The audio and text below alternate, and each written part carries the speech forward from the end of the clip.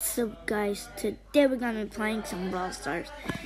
And right now guys, I'll I'll be revealing my club and my friend ID so you guys can friend me. And only subscribe can friend me. So now three, two, one, boom. There you go. If you wanna friend me, that's my request.